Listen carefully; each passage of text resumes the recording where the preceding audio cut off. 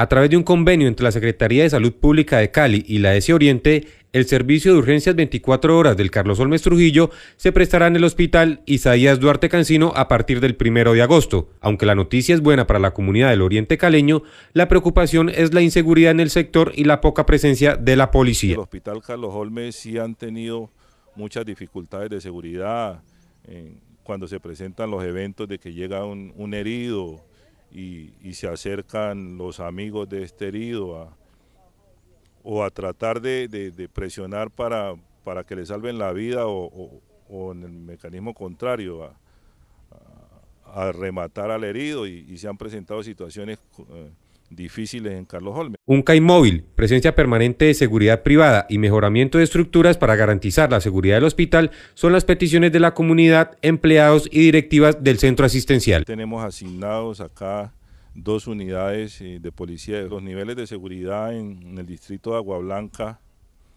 son difíciles. Se van a instalar unas cámaras de seguridad y al interior de la institución vamos a hacer un reforzamiento importante en, en la cerca de cerramiento, en la malla de cerramiento y en las puertas y ventanales de acceso. Vamos a contar con unos, unos mecanismos de seguridad que nos van a permitir tener un poco más de tranquilidad.